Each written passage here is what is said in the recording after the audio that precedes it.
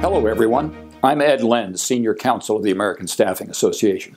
There's no way around it. The business of staffing involves contracting with clients, and negotiating with clients can be hard, no matter how seasoned a staffing professional you are. So join me at the 2019 ASA Staffing Law Conference for the Great Staffing Contract Negotiation.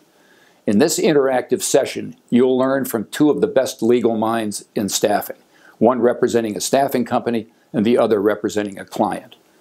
The lawyers will engage in a mock negotiation of key contract provisions regarding indemnification, the Affordable Care Act, workplace safety, criminal background checks, and other important issues.